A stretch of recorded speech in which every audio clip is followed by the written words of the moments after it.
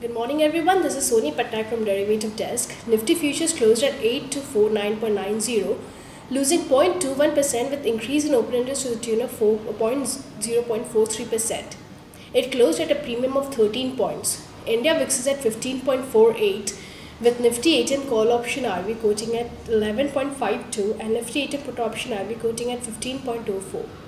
FIs per sellers in index future to the tune of 173 crores, buys an index option to the tune of 572 crores, and sellers in stock futures to the tune of 141 crores. They were net buyers in derivative segment to the tune of 258 crores.